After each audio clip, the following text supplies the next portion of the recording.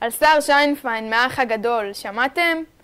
כן, כן, זה שהיה ממש אגרסיבי, כוחני, רב עם כולם, ובגד בחברה שלו, שחיכתה לו בבית עם אחת המתמודדות.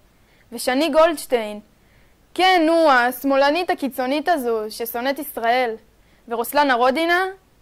שמישהו יסביר לי איך היא שרדה בתוכנית הישרדות למרות את המשקל שלה.